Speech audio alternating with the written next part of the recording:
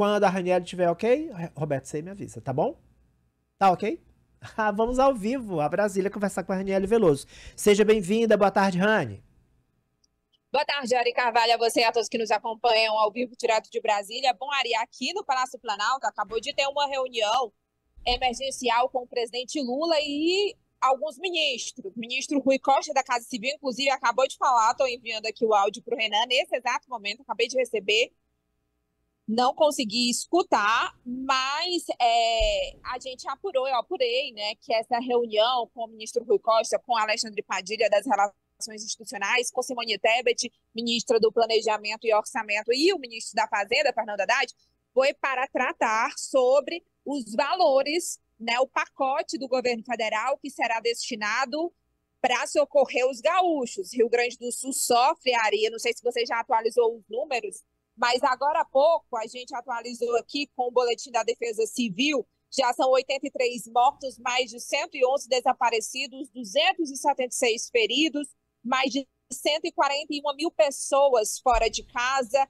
de acordo com o ministro Valdez Góes, da Integração e Desenvolvimento Regional, que está lá, junto com o ministro Paulo Pimenta, da Comunicação, são os dois ministros que ainda estão no Rio Grande do Sul. São 350 municípios atingidos em estado de calamidade e mais de 850 mil pessoas afetadas. Já há informação de que um milhão de pessoas não têm acesso à água potável no estado e já há problema de desabastecimento, tanto nos supermercados quanto também de combustíveis. Então, o governo federal deve anunciar ainda hoje. Lula, inclusive, ele deixou de participar de uma cerimônia aqui de uma assinatura de acordo para a COP30, esse evento climático que vai acontecer no ano que vem aqui no Brasil, em Belém, no Pará. Então, ele deixou de participar dessa reunião para se reunir com os ministros e aí poder fazer esse anúncio. A expectativa é que seja feito ainda hoje. De acordo com uma fonte, né, um interlocutor de Lula, disse que talvez esse pronunciamento saia daqui a alguns minutos. Uma outra informação também, Ari, é sobre a movimentação no Congresso Nacional. Hoje é segunda, geralmente não tem nenhum parlamentar aqui em Brasília, mas os líderes do Congresso foram convocados. E eu apurei que às 17 horas terá uma reunião na casa do presidente da Câmara, Arthur Lira, na residência oficial, com os líderes para poder liberar emendas parlamentares já há um cálculo de que os parlamentares do Rio Grande do Sul vão conseguir a liberação de 534 milhões de reais em emendas individuais, mais 80 milhões de reais em emendas da Comissão de Saúde. Então, esse valor deve chegar até quarta-feira, no máximo, no Rio Grande do Sul. Essa é a expectativa. E há também um trabalho para trabalhar uma proposta de emenda à Constituição, para o orçamento de guerra, que é como eles estão chamando. Ontem a gente acompanhou a visita do presidente Lula com os presidentes da Câmara do Senado, é, Rodrigo Pacheco e Arthur Lira, e também o representante do Supremo Tribunal Federal, ministro Edson Fachin. E eles anunciaram ali esse orçamento de guerra, que é uma flexibilização para que esse dinheiro chegue mais rápido, uma vez que há um artigo na Constituição que proíbe que o Estado gaste mais que 95% da sua receita corrente líquida arrecadada. Como o Rio Grande do Sul está nessa situação de emergência, aí essa PEC trabalharia esse aspecto, até porque a gente lembra né, que o Rio Grande do Sul é um dos estados que está renegociando dívidas bilionárias com a União. Então, ele fica impossibilitado até de pegar empréstimos com é, bancos internacionais, né, com outros órgãos, é, que, uma vez que ele está ainda nessa renegociação de dívidas. E a estimativa da Secretaria de Fazenda do Estado do Rio Grande do Sul é que vai ser necessário, no mínimo, 12 bilhões de reais para a reconstrução de pontes, estradas, escolas, prédios públicos e outros órgãos. Ari, mas a situação, no momento de prioridade, de acordo com o governador Eduardo Leite, é para o resgate dos sobreviventes, né? Porque há um número muito grande de mortos e o número de desaparecidos é maior.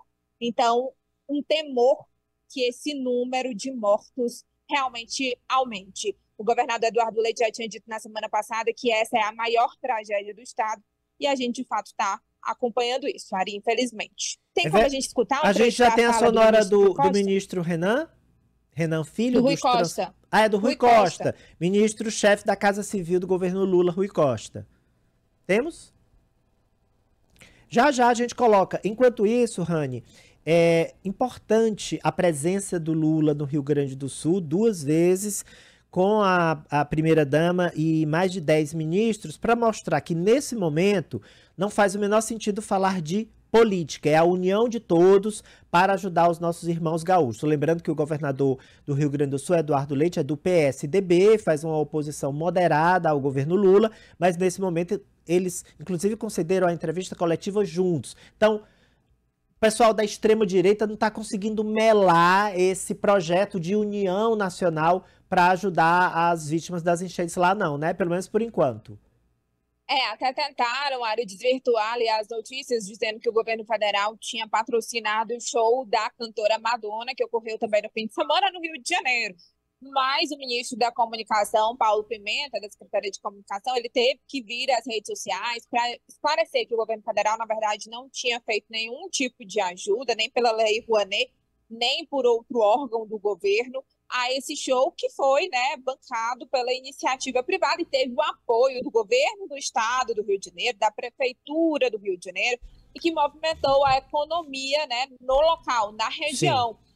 Muita gente veio a público criticar né, é, o fato desse show estar tá acontecendo no momento dessa tragédia. A gente lembra que o governo, na sexta-feira, também estava no impasse sobre o adiamento ou não do CNU, que é o Concurso Nacional Unificado, que ocorreu em todo o Brasil, e chegou a cogitar a possibilidade de suspender apenas no Rio Grande do Sul, mas na sexta-feira à tarde a ministra Esther Dueck, mesmo com um prejuízo de 50 milhões de reais para o governo federal, por causa da impressão das provas, deslocamento, já estava tudo organizado, ela anunciou que, de fato, o governo ia ser suspenso e a expectativa é que fique lá para o segundo semestre, viu, Ari? As provas que já tinham sido distribuídas, elas retornam para cá, para Brasília, é, de acordo com a ministra, vai ter segurança, mas há uma dúvida, né? Pode gerar um recurso, pode gerar alguma ação judicial, a gente ainda não sabe, eles ainda não se pronunciaram sobre isso, porque o foco no momento é essa questão dos recursos, né? A liberação, porque há uma burocracia. Inclusive, ontem, durante a coletiva, Lula, Pacheco, Lira falaram nesse destravamento dos recursos sem a burocracia que a gente é, acompanha atualmente. Inclusive, tem um trecho que eu separei, que não vai ao ar logo mais, no, no Agora Brasil, separei aqui para o Banca, é o trecho do presidente do Congresso Nacional, Rodrigo Pacheco. Tem como a gente ouvir? Vamos lá. Nós estamos numa guerra. E numa guerra, de fato, presidente Lula, que eu sei que é o seu sentimento não há limitações, não há restrições legais de tempos comuns. Há necessidade de retirar da prateleira e da mesa a burocracia, as travas, as limitações, para que nada falte ao Rio Grande do Sul para a sua reconstrução. Fala do presidente do, do Senado, Rodrigo Pacheco, em consonância com a fala do próprio presidente Lula, que disse: a burocracia não vai impedir a nossa ajuda ao estado do Rio Grande do Sul. A gente, o Arthur Lira, presidente da Câmara, também estava junto nessa coletiva, também foi na mesma linha. Rania, nessa reta final, é, alguma atualização agora de última hora? Você quer falar de um último tópico? Então, tem como a gente ouvir a sonora do ministro Rui Costa, que foi agora, sobre Não, a gente ainda não conseguiu gerar a sonora. Ah, que pena. Olha, Ari, por Sim. enquanto, aqui a gente está acompanhando, inclusive, essa situação do orçamento de guerra no Congresso Nacional, porque é uma grande dúvida, né, sobre essa proposta de emenda à Constituição, uma vez que há artigos ali que barram a liberação rápida do desse orçamento. Mas acabei de receber aqui, inclusive, informação agora do presidente do Senado, Rodrigo Pacheco, que vai se reunir também hoje Agora, às 13 horas, daqui a alguns minutos, na residência oficial do Senado, com os senadores Hamilton Mourão, que era o vice-presidente de Bolsonaro, né, senador da oposição, e também Paulo Paim, que é do PT do Rio Grande do Sul. E aí na pauta está a adoção de medidas que vão auxiliar na reconstrução das áreas afetadas pelos temporais no Rio Grande do Sul. Portanto, mais uma agenda aí que não diz respeito à questão de situação ou oposição, mas sim estar trabalhando junto para a liberação desses recursos. A gente ainda vai, Ari, tem uma expectativa para essa semana da sessão do Congresso Nacional que vai analisar os vetos né, do presidente Lula. Será que essa sessão ainda vai ocorrer? Será que essa, é, é essa sessão vai estar mantida daqui para lá? Ou, de fato, os parlamentares vão se debruçar na aprovação dessas verbas para o Estado que está precisando de socorro do Brasil nesse momento? Olha aí.